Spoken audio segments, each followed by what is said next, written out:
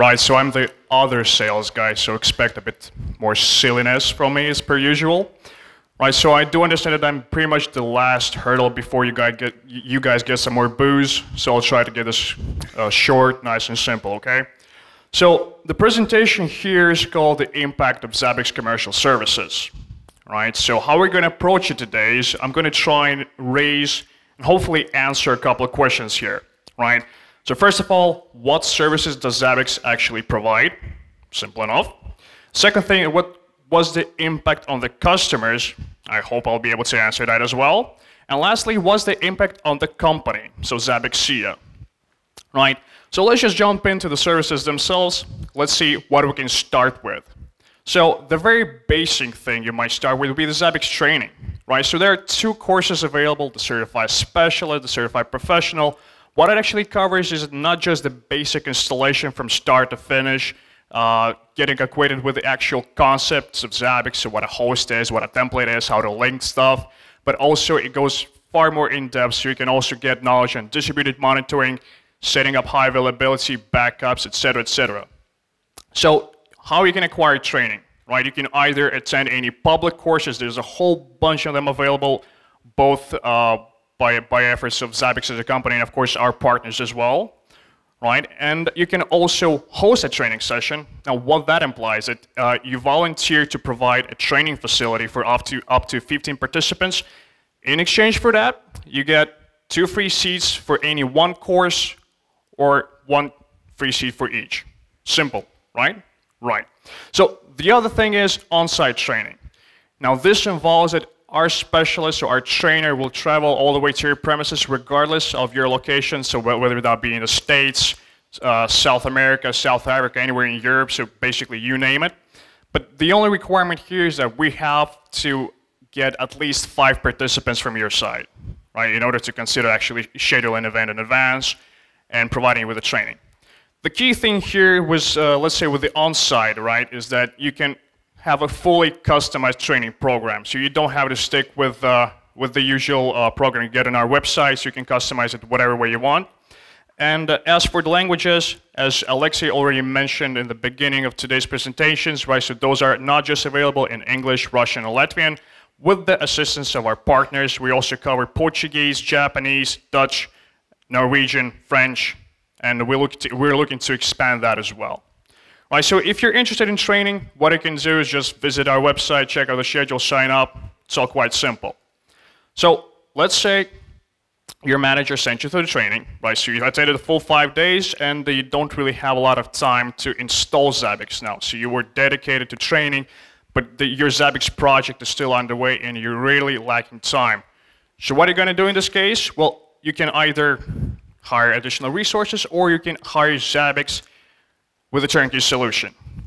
What that implies is that provided that you give us either remote access or you're fine with us traveling to your premises, Zabbix specialist will either install Zabbix from scratch for you according to your exact requirements the way you want it, or configure and uh, continue, let's say, any migration works that you already started. So let's say if you're uh, trying to migrate from any other monitoring solution up to Zabbix, or you're just rolling out from scratch, done deal. So that's something Zabbix can actually assist you without any problems. Right? And the bonuses here with the turnkey solution is that provided you purchase this along with Zabbix technical support, you get a discount. So that's not how bad. So okay, let's consider this. You have your training, you have Zabbix installed. What happens if something goes, let's say, that's up or something hits the fan? You would need some annual support for this to make sure that nothing goes wrong.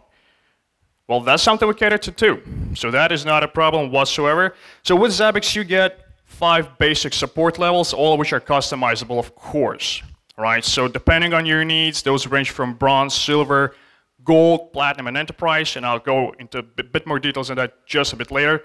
So the key difference here is that let's say if you're just a small company, you're running a simple Zabbix server, and you just want to monitor, let's say 100, 200, 300 hosts, you don't really want uh, to commit to uh, uh, a high value support agreement. Right? So you'll be fine with just going to bronze and silver. You get a limited number of incidents, so eight, uh, four and eight respectively for bronze and silver. And the response time is not exactly uh, urgent for us, right? So we still we still aim to get uh, assistance to you as fast as possible, but with these two levels, so basically you're limited up to a single business day, right? If you're going on a larger scale and you really want to get supported at least Monday to Friday without any limits, you're looking at gold. And if you really want some extra assistance from our side, 24/7 support, performance tuning and whatnot, then you'll be looking at the premium level, so that'll be platinum and enterprise. And the other choice for you is, let's say, if you also need training and on-site consultancy, then the enterprise support would be the way to go. All right? So, okay, you have your enterprise support or any other support. How does communication actually go? So how do you talk to Zabbix people in this case?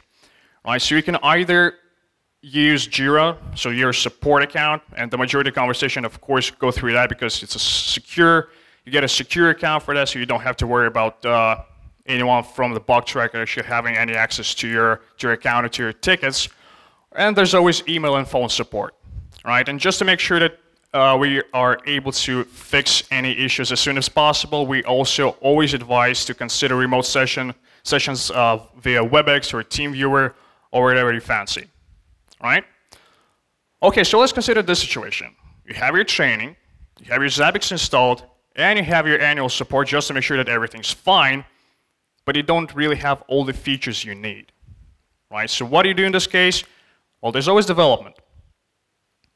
So how development works is that you can either contribute or sponsor a certain feature development as a single entity, as a single company, or you can divide the efforts between a group of companies, a group of users, thus making your contribution less, but you still get your say on the actual specs, right? So you get your word in and uh, you do get the chance to discuss with our developers and with our CEO how you want this feature developed, on what terms. And of course, you'll be able to test it before it's released, and if at all possible, you'll get a patch before you go. But that really depends on the feature, right? So it's, if it's something really huge, then of course no patches will be provided. Sorry. Just to give you a couple of examples of how development goes right. So here are just a few of them. Uh, of course, we'll proceed and continue to plugging uh, uh, VM Monitor for, for still uh, quite some time because that was a significant development for Zabbix and it was sponsored fully by a single company. And we, of course, appreciate the contribution. Bless you right? So in any case, so that's just one example. And of course, the automated group graphs. So this is one of the top voted uh, tickets for a couple of years now, and it's finally included in Zabbix 2.4. And there's also the SNMP get bulk.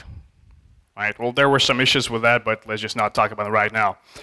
So in any case, right? So these are just a few examples of those, right? And there are a lot, a lot more examples of companies, uh, at least partly contributing to sponsoring developments and thus allowing Zabbix to improve. So these are the core services, but by no means are these the basically the entire thing that we can provide. So there's a whole plethora of uh, available services that we can offer. So you had your training, you had the turnkey solution, support, development. But if you don't want to get involved with, let's say, a serious commitment to a support agreement or whatnot, there's always basic consultancy for instance, right? You just want to ask two, three simple questions, get an hour worth of phone consultancy, you're done, right? If you, if you just want to have a couple issues resolved, right, there's also remote troubleshooting, there's the upgrades, so all imaginable services that can be uh, related to Zabbix software, we can provide and cater to that without any issues. So, okay, you got your services, everything seems to be running, or at least, well, you, you, you took a minute to give Zabbix a shot. Maybe you checked out the website and you, you checked out what the prices are, what the services are. So what's really the point of that? Right? Okay, so of course I can say that everything we do is designed to save your money and your time. Because it's a lot cheaper and safer to hire Zabbix to either, uh, let's say, install or maintain your installation throughout the years than outsource the installation to someone else you don't really trust or hire additional people to do that for you, right? So, and let's say if you're migrating to a different from a different solution to Zabbix, using our services will make this whole procedure a lot easier and simpler. And of course, acquiring any of our services may or may not prevent hair loss, but that's a whole different story. Right? So what's the point in all of this? Right? You can check out any competitor, You can check out any old software, product developer, whatever, and you'll still see the similar, the similar, let's see, either sales speech or marketing campaign that our product is the best, our services are awesome, you have to use only us. But you kind of heard that before already, right? So what I'm going to do now is I'm going to try to show you a couple of examples of how our services were useful uh, to our customers uh, all around the world, so Europe, America, you name it, right? So example number one would be just um, some feedback from our training. Now, as I mentioned, there are several ways to attend this, and this particular one was uh, taken after a public training session a couple years back. Just to give you some background on what actually happened, right? So the team that attended this training, um, they've been using Zabbix for almost a year, if I remember correctly, and they thought they actually had everything under control right? So even though the team was experienced, they were still able to get quite a lot of useful information from this. And I just, and I don't mean just pro tips, but actually they got information on the functionality that didn't quite know existed in Zabbix out of the box. Right, so this is something you can consider for yourself, even if you are an experienced Zabbix user.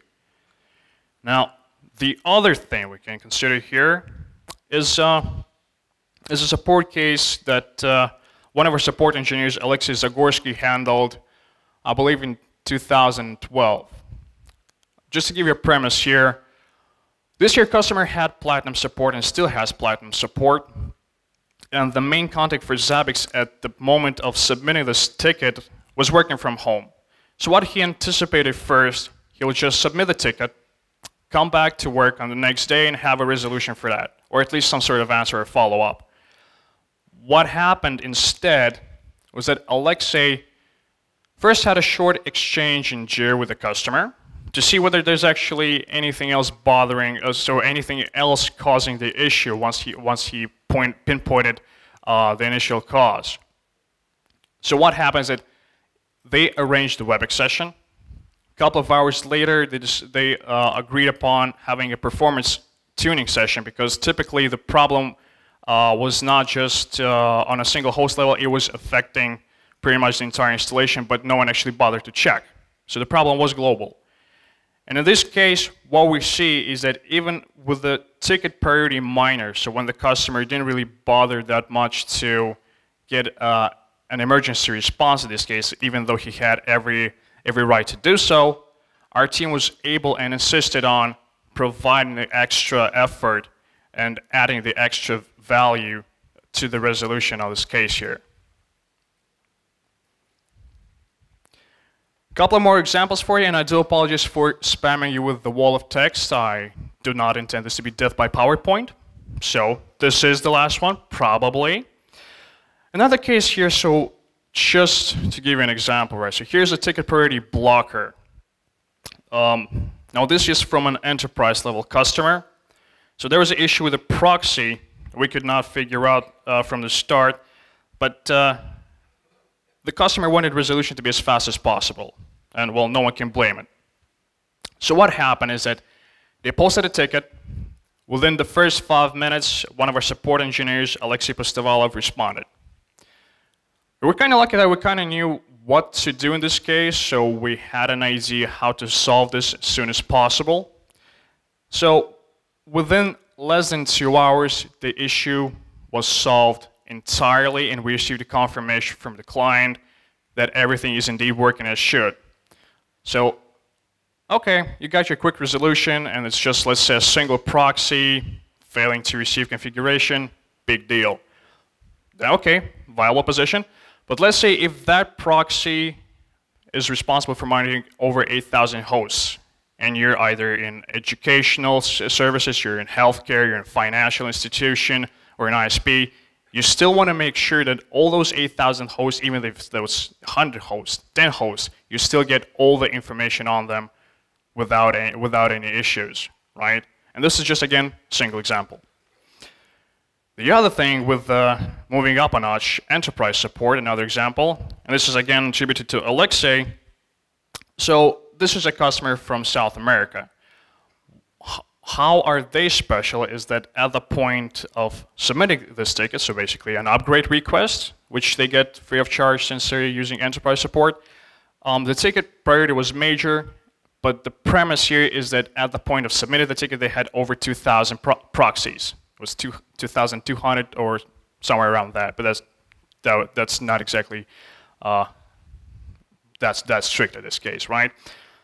So what happened is that uh, since we are responsible for providing the services and uh, no one exactly anticipated over 2,000 proxies, we did it anyway.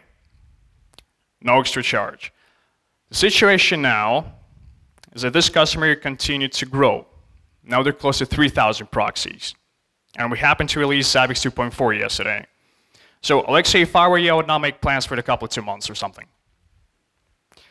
So those are, again, just a couple of examples, right? I did promise you no more death by PowerPoint. So let's just try and draw a short conclusion if we may, right? So for the customer, what do you get when you purchase any services, right? So the obvious things, you know that everything is working correctly. And if it doesn't, we'll fix it anyway. Right? So you're not losing any data, you're not losing your own time, you're not losing money, when you assign a Zabbix person to deal with any issues that you're currently having with your Zabbix installation or you're trying to get it improved. Right? So you get assurance and guarantee on that. So what does Zabbix get? What does the company get in this case? So the only way for us to generate any profit is of course by services because software itself is completely open source. You don't pay money for that. That's good enough. So with every contribution Zabbix gets, be that support, development, consulting, the software itself gets improved, right? So we can, we're, basically this allows us to hire more resources to improve our test labs, to get quality employees at Zabbix, right? And to further improve the product and keep the company at a representable level, right? So there is a chance for Zabbix to actually uh, step in and at least cover some of the market the way it's pretty much meant to now. So this was pretty short, guys, as, as I promised. All right, so just to give a few examples of our customers, you can see here. So we do range from pretty much all around the world, right? So we cover almost everyone. I guess the only location still not exactly touched by Zabbix that much would be Australia. And that's probably just because of the lack of training so far, but we're looking into resolving that in the near future as well.